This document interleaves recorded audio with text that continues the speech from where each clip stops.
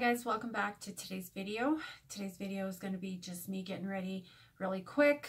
Um, I have a couple errands to run and yeah, so I thought I would just get ready and no chit chat.